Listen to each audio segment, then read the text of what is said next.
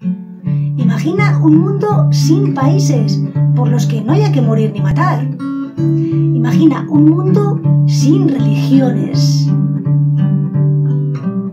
Imagina un mundo donde todo el mundo viva en paz. ¿Sería posible que John Lennon compusiera esta canción pensando en Auroville?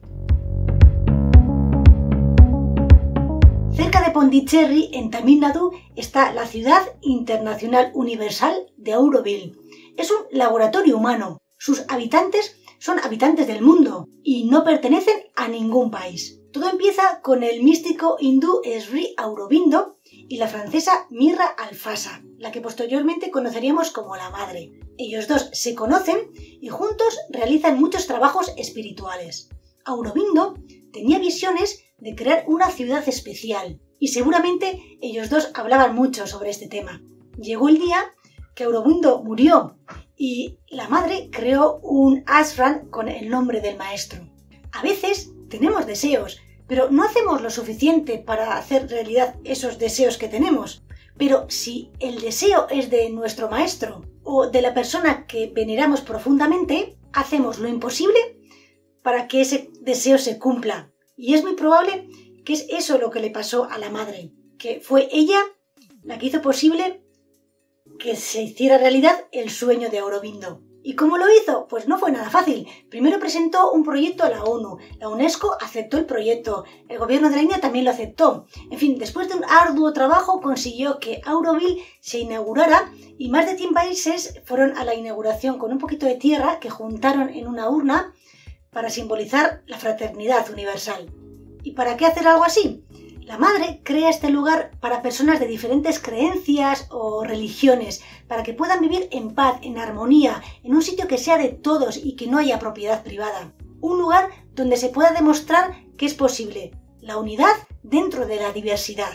Pero hay algo más, algo que muy poca gente menciona cuando se habla de Auroville. Vivir aquí puede ser bastante parecido a vivir, por ejemplo, en Hamburgo, Ahí la gente trabaja, se relaciona con gente, incluso con gente que te cae mal, va al cine, puedes meditar o hacer yoga en los dos sitios. En Hamburgo tienes la presión de que tienes que pagar el alquiler. Y en Euroville tienes la presión de que tienes que aportar tu granito de harina a la comunidad. Incluso se puede decir que en los dos lugares hay consumismo, quizá a diferente nivel, pero lo hay. Entonces, ¿por qué vivir aquí? Bueno, todo lo que hemos mencionado es un poco como la parte externa de la persona. Y Auroville lo que busca es el cambio, hacer un cambio en la parte interior de esa persona. En Auroville se buscan nuevas formas de relacionarse con la gente, de relacionarse con el mundo. Quizá usando las enseñanzas del maestro Aurobindo, su yoga integral, se busca una forma de dar un paso evolutivo, llegar a una dimensión nueva, para que nos podamos dar cuenta de que el alma debe subir o ir a un lugar diferente. Y esa sensación la sientes cuando te acercas al Matrimandir. En Auroville hay que vivir con los pies en la tierra, aunque a veces no es fácil, pero buscando ese paso evolutivo de la humanidad. El yoga integral de Aurobindo es muy importante, es una referencia en Auroville. Para que este yoga pueda llegar a la conciencia del mundo, hace falta una especie de laboratorio humano, como una humanidad pequeña, donde pudiéramos ver el exterior y el interior humano. Y eso es, o debe ser, Auroville. Así que aquí no hay una religión determinada, pero sí hay una especie de filosofía de vida, donde se intenta desarrollar la parte de la persona física, emocional, su parte inteligente y su parte espiritual. Es como un camino hacia la perfección, hacia la evolución. Ese es el fondo de Auroville. El diseño original de la ciudad era un mandala, como con una forma de galaxia, de espiral, con una forma que inspirara energía y dinamismo. Y la zona de Auroville era un puro desierto. En cambio, ahora hay más de 2 millones de árboles. Árboles que hay que plantar, regar, cuidar. Así que Auroville también es una prueba de que de un desierto se puede sacar un vergel. Se trata de una zona donde hay pequeños grupos de casitas o de poblaciones que están unidos por caminos. La intención de la madre era que hubiera más o menos unos 50.000 habitantes y hoy en día hay unos 2.500. siempre han predominado personas procedentes de Francia o Alemania, pero en los últimos años hay más habitantes procedentes de la India que de estos países, y los extranjeros son cada vez menos. Sin duda, esto es algo que quizá debería analizarse. Aquí viven muchos niños y reciben una educación muy buena, siempre enfocada a la naturaleza y enfocada a desarrollar las facultades del niño. Pero ¿qué pasa? Pues que no está avalada internacionalmente, por lo que muchos padres llevan a sus hijos a una escuela privada en Pondicherry. Y lo hacen para que la educación pueda servirles si quieren vivir fuera de Auroville en un futuro. Así que también se suele decir que hay desigualdad entre los niños, debido a la educación que reciben. ¿Y cómo se organizan? La máxima autoridad siempre fue la madre, pero cuando ella murió en el año 73, todo se volvió un caos. Hubo una crisis muy importante en la gestión de la ciudad. Les faltaba su líder. Después de unos cuantos años inciertos, se creó la Fundación Auroville. Se creó también una especie de gobierno formado por una asamblea de residentes para poder tomar decisiones.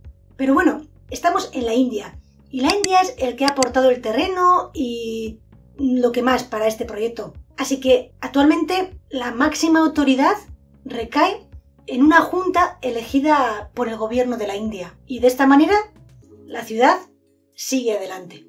¿Y cómo se vive en Auroville? Bueno, pues de momento se dice que no son autosuficientes. El conjunto de la ciudad necesita todavía las donaciones. Sus habitantes trabajan como en el resto del mundo. Hay pequeños negocios de informática, hay pequeñas tiendas, hay quien trabaja en las huertas, otros en la limpieza, otros en el tema de la cultura o la educación. Existe un sistema de salario justo y parte de lo que ganas se dedica a la comunidad. Nada es de nadie, todo pertenece a la comunidad. Este sistema económico es sin duda una especie de experimento, del cual en un futuro se podrán sacar conclusiones. Hay una empresa que se dedica al incienso, otra empaqueta café, que venden en todo el mundo. Y todo debe hacerse de forma ecológica sin dañar al medio ambiente. Para ello, hacen una tarea muy importante de investigación. Buscan nuevos materiales, nuevos tejidos, así que aportan su granito de arena hacia un mundo mejor. En Auroville no hay dinero físico, sus habitantes tienen una cuenta y suelen disponer de una Eurocar. A nadie le falta la comida o el alojamiento. Muchos dicen que es complicado vivir allí porque no puedes ahorrar o es muy difícil ahorrar en caso que quieras volver al mundo o a, un país de Occidente. Por lo cual, ellos dicen que se sienten un poco limitados. Pero es que la idea de ahorrar no es la idea de Auroville, ya que aquí no existe la propiedad privada. Aquí no hay bares, pero hay restaurantes, hay un comedor comunitario conocido como Solar Kitchen, hay cafeterías, hay cines, hay teatro, se pueden hacer muchas actividades. No se pueden consumir drogas ni alcohol en toda la ciudad, pero sus habitantes pueden salir cuando quieran, por lo que muchos de ellos se acercan a Pondicherry a echarse unas cervecitas. Esto es algo que también habría que analizar. ¿Quieres visitar Euroville? Bueno, pues evidentemente tienes que pagar tu estancia allí y esos ingresos van a ser muy importantes para la comunidad. Esto es algo que muchos eurovilianos no ven muy bien porque sienten que se encuentran viviendo en un parque temático. Muchas veces hay más visitantes que ellos mismos y esa no es la idea que tenía la madre cuando creó la ciudad. Bueno, el caso es que si quieres pasar tres o cuatro meses allí, pues te darán una cuenta donde podrás meter tu dinero y así podrás funcionar en la ciudad.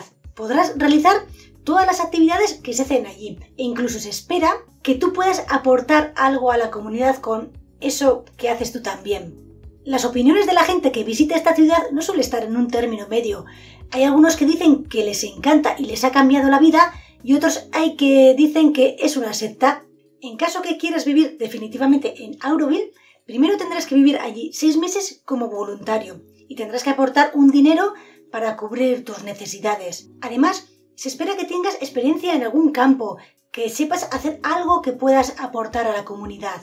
Una vez que hayan pasado los seis meses, se recomienda que estés dos años más sin salir de Auroville, sin volver a tu país, para ver si realmente es eso lo que quieres. A partir de entonces, podrás formar parte de la lista de habitantes de Auroville y podrás tomar parte en todas las decisiones que se tomen. Auroville no es un lugar estancado en el pasado, no da la espalda a la época que vivimos. Al contrario, está a la última en los avances tecnológicos y son muy conscientes de ello. Por eso es tan importante esta ciudad experimento. Podría ser la prueba de que es posible un mundo más equitativo, un mundo donde los recursos fueran de todos y así diéramos un paso evolutivo certero. Auroville podría ser la prueba de que el mundo podría salvarse. Podríamos evolucionar como humanidad sin tener que renunciar al progreso.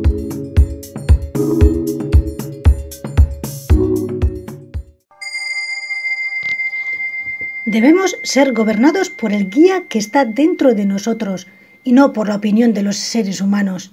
Palabras de Eurobindo.